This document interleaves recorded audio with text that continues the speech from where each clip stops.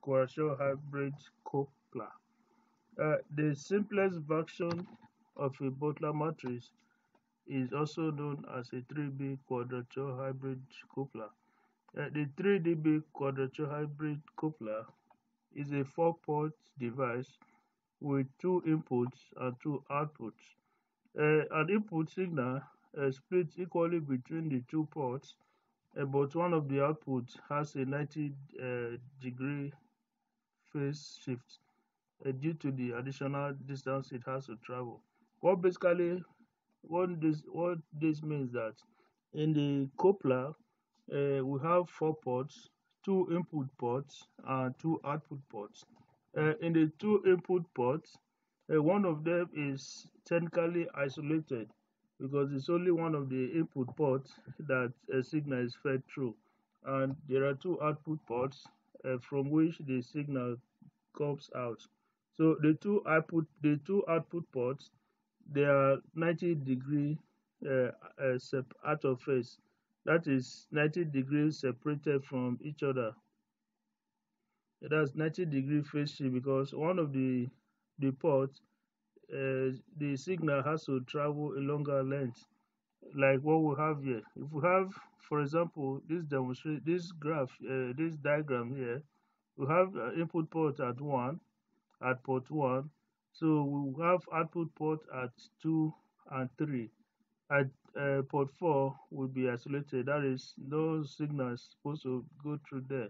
And because the uh, this output one will be at a normal uh, phase while the output 3 will have a 90 degree phase shift because the signal has to travel a longer distance to get to output 3 so if antennas for example uh, are attached to port 3 and 4 then an input signal at view at what we, what we have here if we have this as v1 v4 v3 and v2 and we have the input signal here at port 1 then an input signal v1 uh, results in an output at port 2 and 3 uh, of at, at port 2 we have uh, the the output voltage coming out from port 2 will be will be the the root uh, we have the, the the input the voltage at, at port 1 divide by root 2 to give us the output voltage here. So the same for the other side, uh, because because they will be out of uh, 90 degree different phase difference, uh, the output here will be same V1 uh, divided by 2, but it will be on the negative side. So that's why when this is presented, we have a minus J is that imaginary aspect of it. But that's not what we are doing now. We're going to, what we want to do is do the basic calculation on how to get uh, the values to for our design. Uh, today we'll be using uh, ADS uh, simulation ADS from Keysight simulation software to design our output. But before we go to the ADS, we need to determine our basic value. As we can see here, the standard 3D, 3DB coupler has uh, basically almost same. Sometimes we have here to be flat. Uh, because we have they want a perfect flow signal, we can make it to be curved so that there will no uh, reflection. So what we have here, uh, the, the, the dimensions here are represented in terms of the impedance. So we have the imp impedance here to be Z and Z naught. Uh, this and this, they basically have the same impedance. But at this point, uh, we have uh, the impedance uh, divided by root 2. So this value we have to calculate. And the the length of the of the of the microstrip using a microstrip, microstrip uh, patch the length uh, will be quarter quarter wavelength. Uh, how we get the the value in terms of uh, millimeters and others will will will go through. Uh, so for our design, we'll be using a FR4 substrate. Uh, we'll be designing for a 2.4 gigahertz frequency operating frequency. Uh, if we use if we're using 2.4 gigahertz uh, frequency with FR4, uh, we definitely will have a wavelength of 1.25. That's if we divide our uh, speed of light over over the operating frequency. That's what that one will give us. So using a substrate height of 1.6 mm, uh, a dielectric constant 4.6 and the other value. Our standard impedance uh, will be 50 ohm. We're using 50 ohm because it's basically one of the standard that almost every electronic device is used. So having gotten this, we have here, so because we have here 50 ohm, so this value now will now be 50 ohm over root 2, which we have done there to give us 35.35 ohm. So here I've done a calculation to get the actual length of our design. So we have basically we have it basically in two steps. We have the we, we need to find the width of this section and this section. So this I will call width 35 because we're using 35 ohm and this with 50 uh, this is with 35 so i call this length 35 length 35 and this length 50 because this is the 50 ohm section so having we proceed now first we calculate the 50 ohm uh, length uh, 50 ohm line the 50 ohm uh, 50 ohm line uh, there's a standard uh, equation that you can find in any standard textbook on how to determine certain parameters. First, we have to calculate the width of any of microstrip. There are two basic equations here. Uh, the first one is for the, when the width is less than the twice the height, then we can use this first one. But if the width is greater than twice the height, uh, then we use the second one. So our substrate height here, uh, we have our substrate height that we're using is 1.6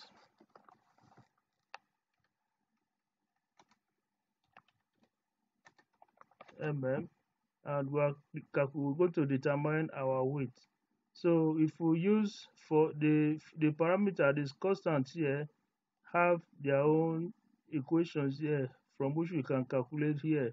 So if we if we're using A for example, our weight less than uh, twice the the height, then we use the first one. If we use that, we calculate uh, our A value here to be uh, putting the other values here. How this is our impedance over standard 60, then the uh, relative permittivity, uh, permittivity. We have 1.58 so we now use that value to find our width the 50 50 ohm uh, impedance width to be 2.95 so having gotten that we now proceed to determine the the length of that 50 ohm so for to calculate the length we use this equation it's a standard equation as well and we determine the effective uh, uh, uh, constant. So we use this equation to determine the dielectric constant. This is a standard equation you can find in any textbook as well. So we arrive at this value for our 50 ohm length. And we do the same calculation for the 35 ohm microstrip line. And we get this. So have we done that, we use the same value. We, uh, just like we did for the 50 ohm we'll, we'll find our the the width of our 35 ohm uh, uh, uh, microstrip uh, line. So that is that and we calculate the length as well we use the same basically the same procedure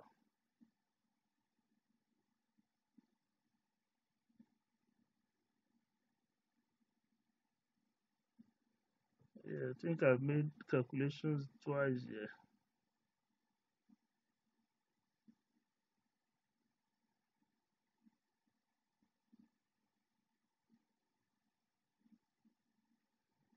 This we don't need this.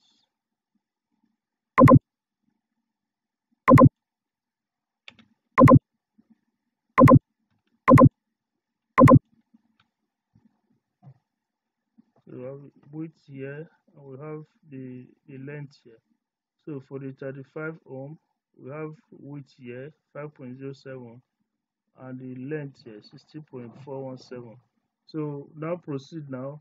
Uh, this is our standard design parameters. We have all our calculated values here and we have the values for our design on on the on the diagram. So here you know that from we have from this plot from this diagram our quarter wave is from the middle to the middle here uh, but what the this thing we are going to be using the microstrip uh, ads reply that we're going to be using we have a length from here to here. So in order to get our actual length because we calculated this we need to subtract this width from our calculation to get the value we'll be using. We'll see that as it goes on but we've already done the calculation to get this value. So we'll now proceed to design our ads so we, have the ads already open. We're using uh, we can use either the schematic or the layout. Basically they are both the same. Depends on which one you prefer. Uh, but let's just do a simple one. We'll use a schematic to design this. So if we create a new one you can give it any name you want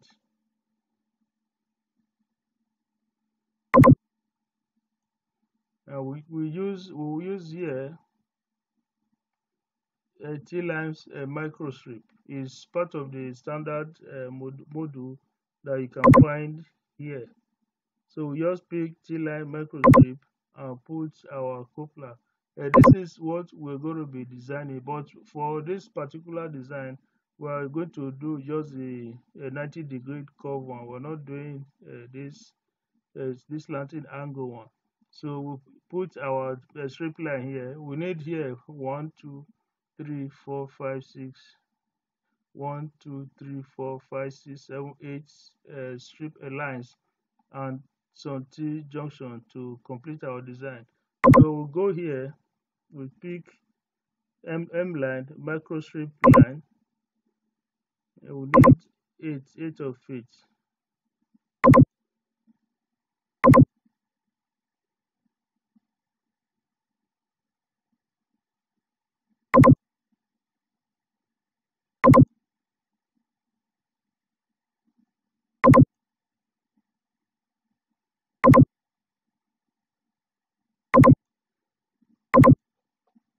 Need a uh, one a T, a, a empty line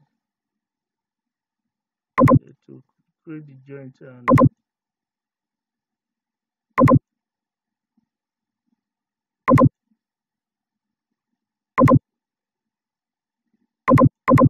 so we make our connection. Yeah just before we we put values in just before we change the values we'll do that now.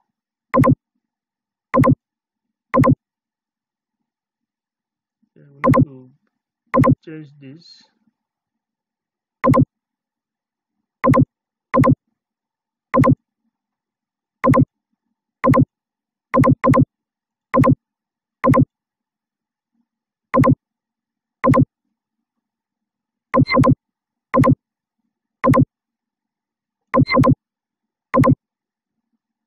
you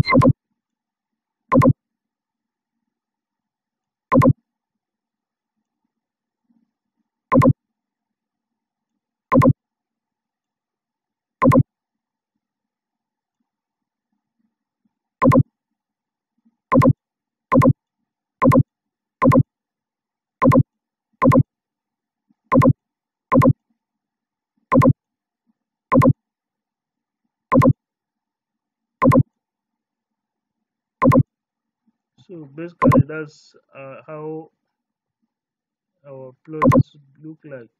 So here we need to put our input we have input one. So using one here uh, 2 3 and 4 so now we need to change our values. Uh, but basically what i like to do uh, just use uh, because many of the values are the same i like to use uh, just put a create variable where i can define a variable. So here i put first one say w50 and my w50 line is 14.27 uh, no uh, 2.9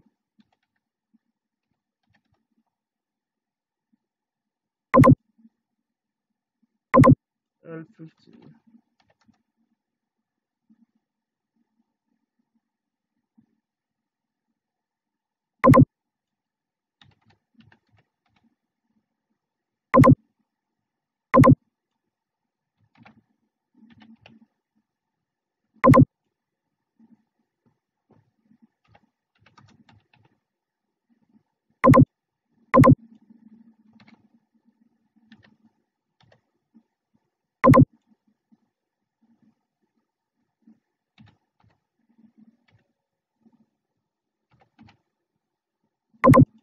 I like to define another two uh, for the for the L so which I call uh, first W50 2 uh, basically I'm going to divide uh, W50 uh, by 2 for this particular one uh, no L50 because I'm using uh, L50 for this this length I need half of it here so that I don't have too long a length there. So I divide uh, L L50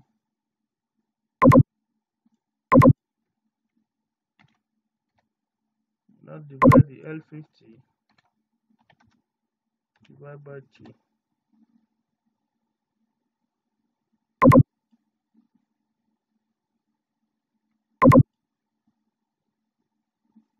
I'll do same for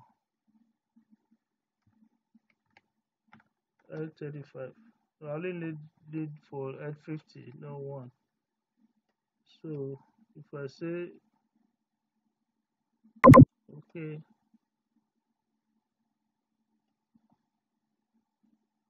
So what, what I'll do now for the various thing here I'm using here for this this width like here this this one here two three four five six they will all have the same weight then this is the w35 so what i just need to do is i change this weight uh by the way my my dimensions are in millimeter i'm supposed to have said that but we can just change this.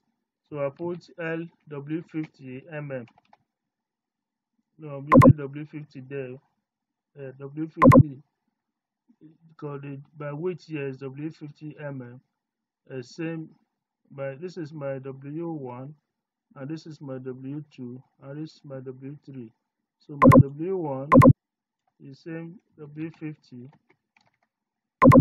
my w3 here is same and my w2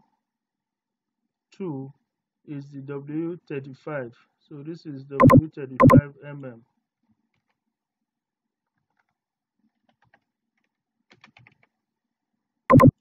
so here I have w35 mm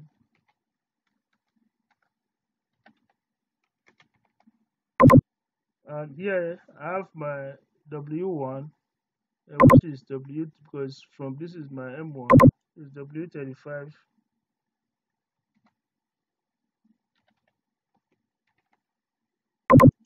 um, m2 m2 and m3 uh, w50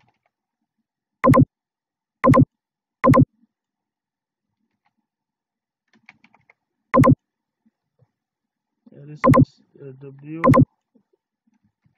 w52 I need the half of the w50 for this. That's this value here. So this is uh, same thing as this. Uh, this is mm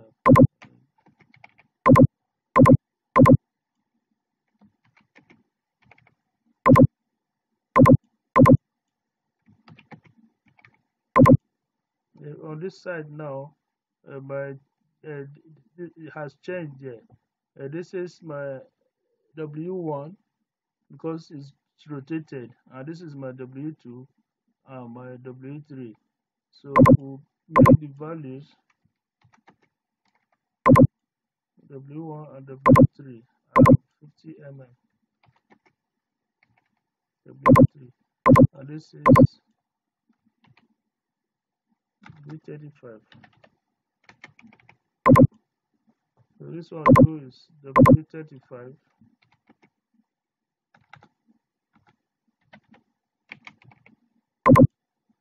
here this is same thing as here too. W1 is yeah yes w1 is coming from here so it's w35 this is uh, w50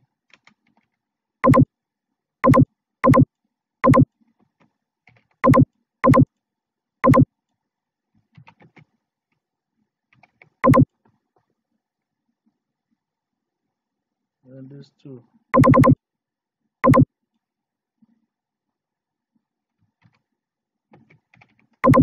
So we've uh, inputted now all our all our the all the weight weight value. So all we need to do now is put in our our length value. So here we have this is uh, yeah that's yeah i'm putting half of the w half of the 50 ohm on this so i don't have too long a length. Uh, no, no this is uh, no not true. The width is the same with uh, here and here. It's just the length all the all the 50 ohm are the same width. It's just the length that varies that is different because I don't want it to be too long. So here I have L52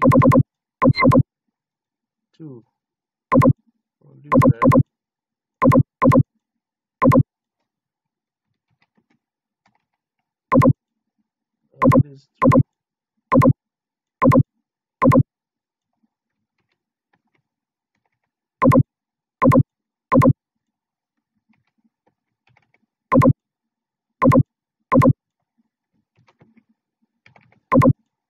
And on this session one two three four i have here will be l50 I know this is L50, not 2 now, because it's the normal length, and this 2.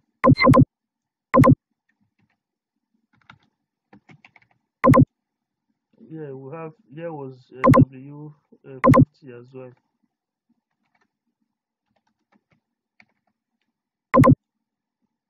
Same thing as here. And this we have L35.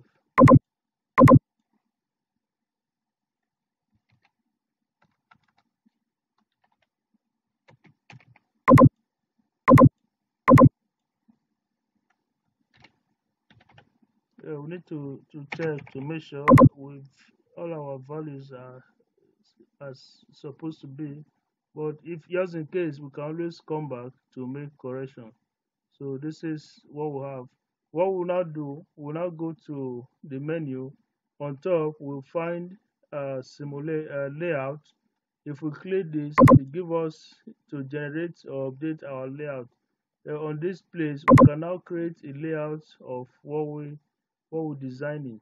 So if we click here, millimeter, and we click finish because we want our design in millimeter. So we click on finish. They will, this will create a, a layout, a layout for us, which basically is a PCB layout.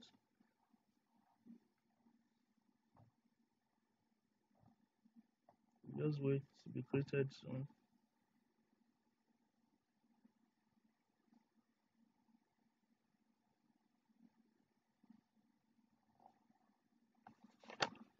It will be longer now.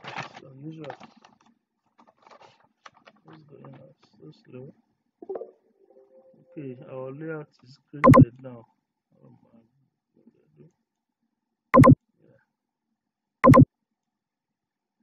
so this is our layout. We just go here and take out this. Oh we think we missed something. It's not quite what it should be.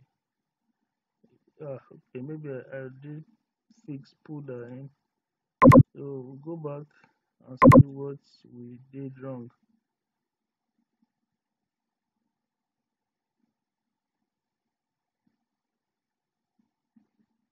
Yeah we didn't define our L35 ah okay.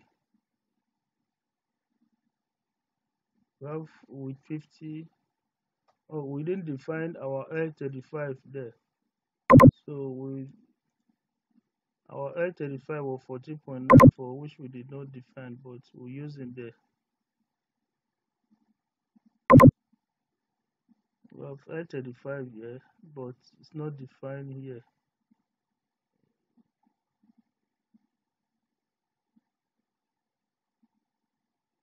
Ah okay we call this this was not L2 it was L35 yeah that's why because our L35 is 14.94 so if we update our layout we should have the correct layout now. Yeah. So this is our layout now. Which looks okay. So next stage what we have to do now we need to set up an em simulation parameters so to do that that em simulation parameter include our uh, operating frequency and the substrate we'll be using. So to do that we'll go to here em em em setup em simulation setup or we can go to substrate editor to create our substrate. But let's just go through em simulator. So we have everything in one place. Create a new one. Here we have our layout which is done. Partitioning now we have our substrate. It's giving us uh, info here telling us that substrate is not defined yet. So to define a substrate we just cl uh, click on substrate here so that we'll be on the substrate sub menu here. So we'll create the if we have substrate defined before it will be here. But since here is empty we'll create a new one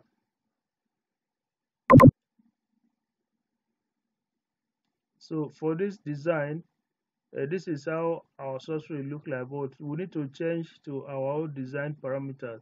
So what we do we click here because here is defined uh, the default one is aluminum uh, with 9.6 AR so we click there and we change this because we are using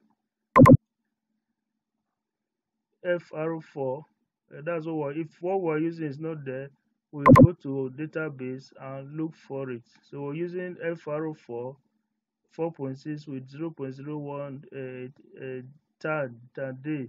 So if we click on this and we click ok it will be added there. All we just need is okay here.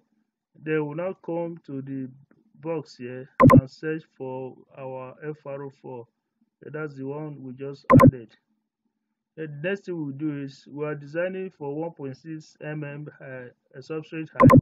So we now change this thickness to 1.6 and make sure our uh, our uh, is a is a millimeter uh, dimension. So have we defined this now? All we just need to do we save it and it will be recognized there see that, that the info this thing warning sign is gone. So our substrate is here as defined. So that's done. The next thing now is we, we define our frequency uh, plan. Uh, for this design we're designing for a 2.4 gigahertz operating frequency. So we define this say maybe 1.8 uh, to a range of 1.8 to 3 and we have we have a reasonable uh, a reasonable frame uh, for our simulation to run. Uh, we also define our output plan just in case we want to see uh, the frequency the heat the current distribution on the surface. Then if we simulate this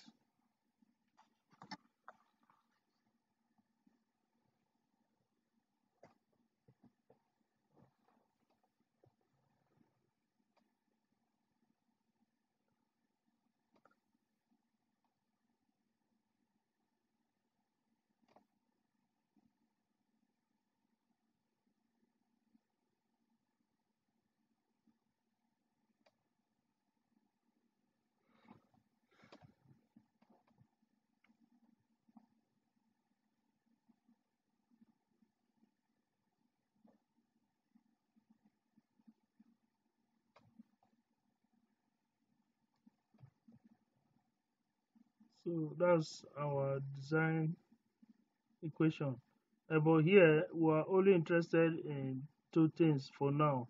That's our amplitude amplitude.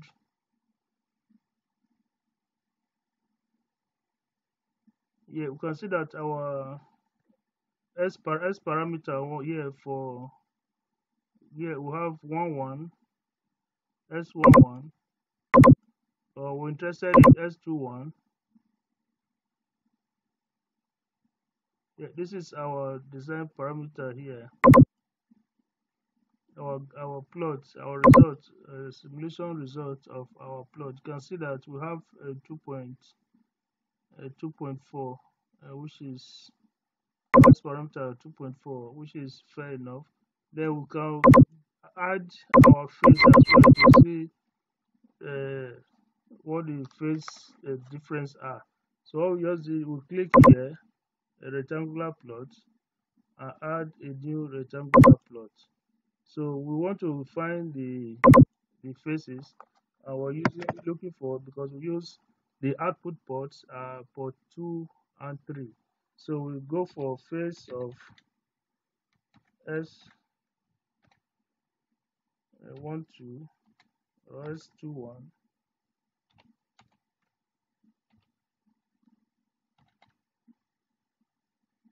we'll add this and phase of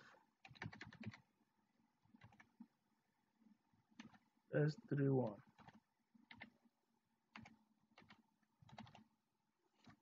and add this. So when we plot this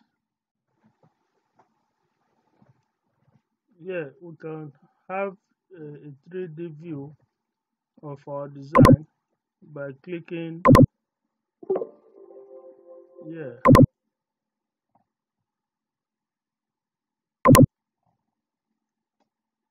so we'll see how our design look in 3d also we can do a look at the far field distribution the current distribution. Uh, but first let's see a 3d view of our design.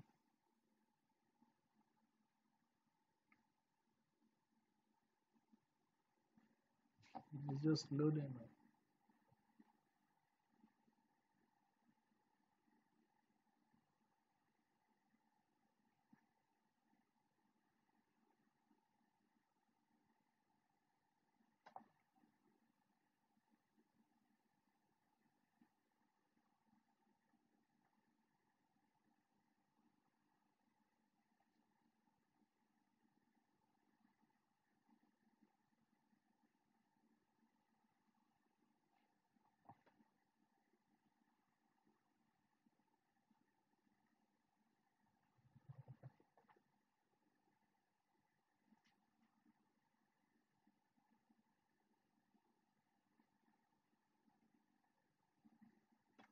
a little bit of time. So this is how our design looks like in 3D. we have our patch, our on top, and this is our substrate. And we can just do everything here. And, and this is just the 3D view. That's the, the substrate we're looking at it from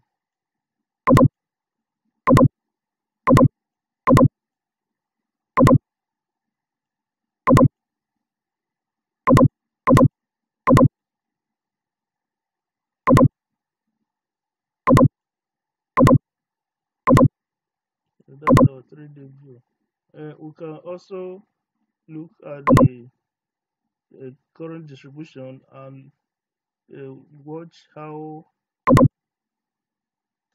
uh, using the EM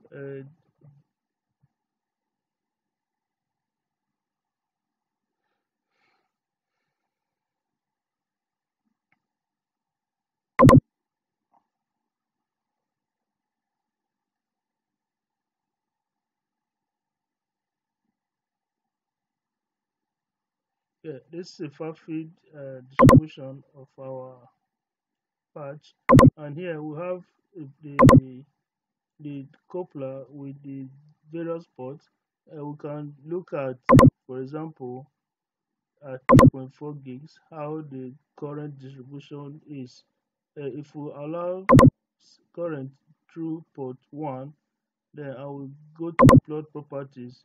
If we go on animate we'll see how the current is flowing.